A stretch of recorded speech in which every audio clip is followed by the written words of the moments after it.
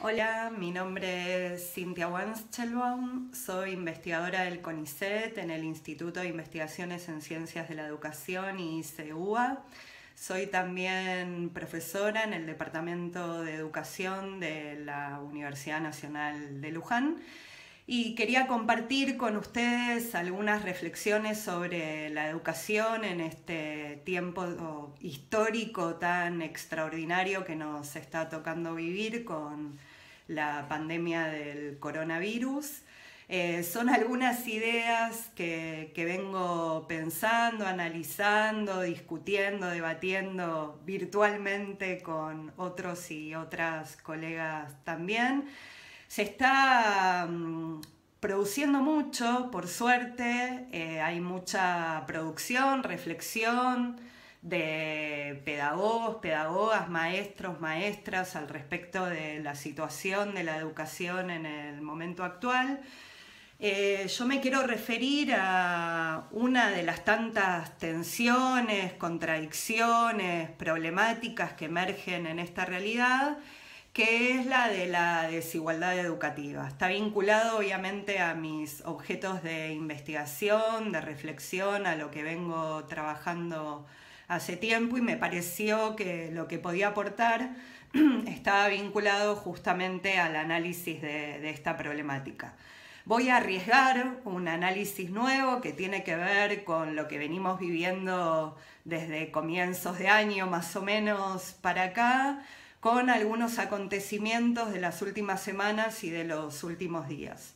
La relación que voy a hacer es justamente un, análisis relacional, valga, la redundancia, perdón, entre la desigualdad que genera, en este caso, la educación virtual, eh, la expropiación de Vicentín, y el asesinato de Floyd en Estados Unidos. Son eso, algunas ideas que vienen rondando en mi cabeza, algunas reflexiones y necesidades también de compartir esto que, vengo pensando porque bueno, es un momento que eh, a todos, a todas, a todes eh, nos eh, impacta eh, muy profundamente, es un momento muy crítico de, la humanidad y bienvenidas sean todas las reflexiones y relaciones que podamos compartir entre todas y todos.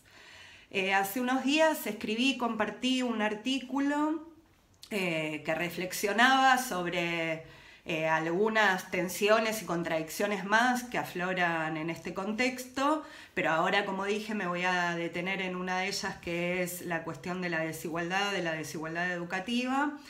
Eh, ese artículo empezaba con un relato, un relato ficcional de dos historias de Felipe y Maite, estas dos historias eh, están marcadas por la diferencia de, clase y allí yo contaba, me imaginaba en estos dos ejemplos muchas historias. Eh, contaba que Maite vive en un barrio popular de Rosario, que está estudiando en una escuela de adultos porque cuando era niña, tuvo que eh, dejar los estudios para ir a trabajar. Maite trabaja actualmente en un supermercado y tiene un hijo. En el barrio que ella vive no, hay conexión. Eh, trata de conectarse para hacer las tareas que le dan de la escuela de adultos, pero le implica mucho, mucho gasto de, datos y con el salario que tiene no puede solventar lo que implica pagar un, celular porque además eh, su hijo va al jardín, a veces las maestras se conectan para no perder el vínculo con sus estudiantes y entonces ella prefiere priorizar que se pueda conectar el hijo a, bueno, a ella misma. Felipe, al contrario, estudia, vive en Santa Fe, capital, estudia en la universidad, vive con sus padres, no tiene problemas económicos, tiene garantizada todas sus comidas todos los días, se conecta a todas las clases, sea por la plataforma que sea, maneja muy bien todo lo que tiene que ver con, con la tecnología y de esta manera, como se está dando ahora la virtualización de la educación también a nivel de la universidad, continúa el cursado de sus materias, no de una manera normal como si fuera presencial, pero sigue estudiando. Más allá de estas historias particulares que son una excusa, una introducción a esta problemática desde eso, desde algún modo recuperar lo que pasa en la realidad, eh, lo que yo quería analizar justamente eh, son las tensiones que mm, se presentan en el momento actual entre dos jóvenes que viven en la misma provincia, en el mismo momento histórico, pero que tienen experiencias vinculadas a la educación muy distintas. Eh, quiero decir que si bien este, esta problemática hoy en día está muy presente eh, y en hasta prensa podríamos decir que normalmente no se preocupa por los problemas de la desigualdad. Todo el tiempo también están planteando las desigualdades que plantea la educación virtual. Eh, no es una novedad. En todo caso, la virtualización de la educación con todas las problemáticas que trae aparejadas profundiza y al mismo tiempo hace más visible un problema que es la desigualdad que eh, tiene también su, historia. Em, se hicieron obviamente más evidentes con, esta pandemia, pero lo que quiero decir es que no son una novedad. Bien, hace unos años eh, Michael Apple escribió es uno de mis autores preferidos. Eh, Michael Apple escribió un artículo que se llama Educación, Identidad y papas fritas baratas. Y en ese artículo él nos enseña que comer una papa frita barata, ya sabemos de qué local de comida rápida estamos hablando, eh, implica, es una acción social. ¿Por qué? porque él justamente lo que analiza en ese artículo es un conjunto de relaciones sociales desiguales en términos de clase, género y raza que están detrás de toda la cadena de producción eh, que hace que, que, al finalizar lo, que se convierte es en una papa frita barata que nosotros y nosotras comemos en estos locales. Particularmente lo que analiza es que para poder eh, producir las papas, para plantar las papas en un país asiático, eh, la empresa y el Estado en connivencia eh, desplazaron a las poblaciones que vivían ahí para quedarse con la tierra y que ese desplazamiento lo que implica también es que los niños y niñas que vivían ahí dejaron de ir a la escuela. Entonces, bueno, él lo estoy obviamente que, reduciendo, pero él lo que plantea es, bueno, detrás de comer una papa frita barata, también hay niños eh, y niñas que este, eh, no van más a la escuela. Como les decía, los personajes ficcionales de mi artículo eh, viven en la provincia de Santa Fe. Hace unos días el presidente de Argentina eh, Alberto Fernández anunció la intervención, expropiación y estatización de Vicentín. Ustedes saben que Vicentín es una de las empresas cerealeras más importantes eh, del país que justamente tiene su planta de producción en la provincia de Santa Fe. Juro que fue todo coincidencia, yo había empezado a escribir eh, vinculado a estas historias ficcionales de, Felipe y Maite el año pasado, lo recuperé este año y bueno, ahora se da esta casualidad. Durante el gobierno de Macri, esta empresa, como otras tantas empresas, eh, fueron beneficiadas por el Estado de diferentes formas. Digo, por ejemplo, se le otorgó un crédito que esta empresa nunca pagó, una de las razones por las cuales ahora se la interviene si estamos hablando de empresas, si estamos hablando de una cerealera, si estamos hablando del gobierno de Macri, estamos hablando del capitalismo, estamos analizando al capitalismo y si hablamos y analizamos al capitalismo, tenemos que decir que siempre en el capitalismo, siempre que se beneficia un sector, en este caso el sector empresarial, a la clase social dominante, diríamos, eso se hace en detrimento de otro sector de, otra clase. ¿no? El proyecto justamente político, económico, cultural del macrismo, del neoliberalismo eh, de, Macri, eh, se, se sustentó justamente en el extractivismo en todo sentido. ¿no? Digo, comúnmente se utiliza esta categoría para hablar eh, con relación a la, a la, naturaleza, que también lo podríamos decir respecto del proyecto neoliberal de Macri, pero si hay algo también que lo caracterizó fue justamente la extracción de una clase para beneficiar a otra, ¿no? Em, durante muchos años, justamente, Vicentín pudo sobrevivir a partir de que el Estado lo financió a partir de un crédito en particular.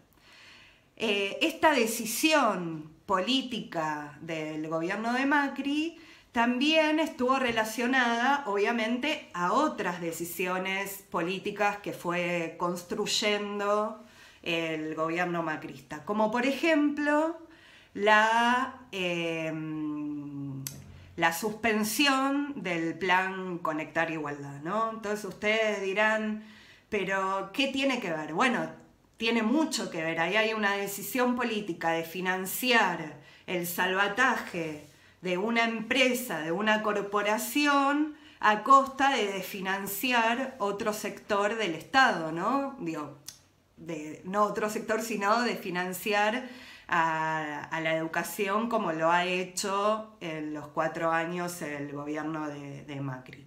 Podríamos decir entonces, eh, recuperando de nuevo el texto de Apple, que detrás de las imposibilidades de conexión de, de, Maite existen un conjunto de relaciones sociales, en este caso empresariales y gubernamentales, que privilegian la ganancia empresarial y el, y el salvataje de empresarios millonarios por sobre el financiamiento de la educación.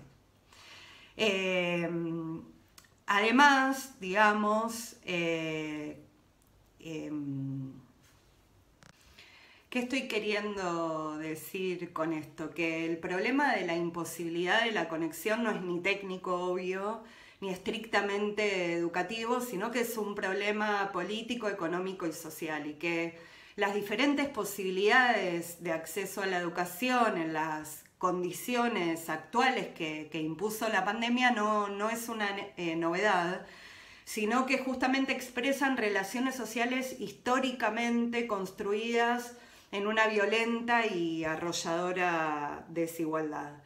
Y esto es justamente lo que el asesinato de Floyd también vino a denunciar, ¿no? Justamente su, asesinato puso al desnudo una práctica que viene ocurriendo desde el origen mismo de los Estados Unidos, que es la violencia contra los afroamericanos, sea en forma de tortura, de esclavitud, de muerte.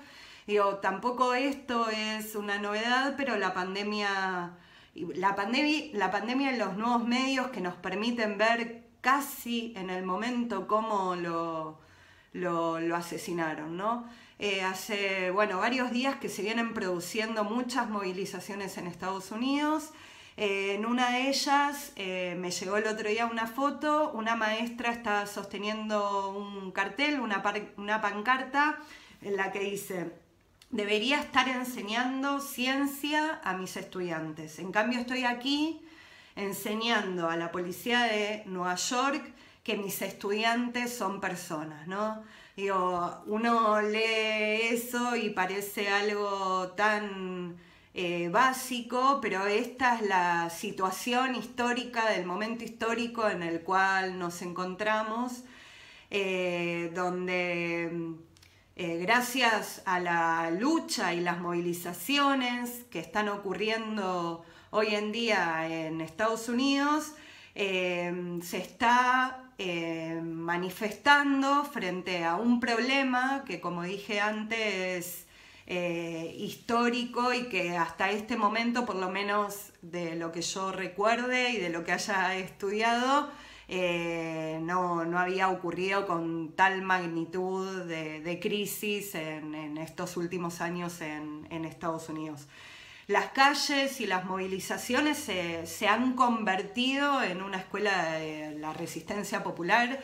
Las calles están llenas de jóvenes que podríamos decir que además hasta están arriesgando su vida porque todos los días salen a combatir a este sistema, eh, al gobierno de, Trump en medio de esta pandemia y con, el peligro que, eso implica, ¿no? Pero tanto lo que está pasando con la pandemia en Estados Unidos como el asesinato de Floyd eh, han demostrado algo que, bueno, Fidel lo dijo hace muchos años, que si seguimos así, eh, estamos en riesgo de que desaparezca la, especie humana, ¿no? Entonces, eh, en estos momentos ¿no? de tanta profundización de, la desigualdad, de una crisis tan generalizada del neoliberalismo, del capitalismo,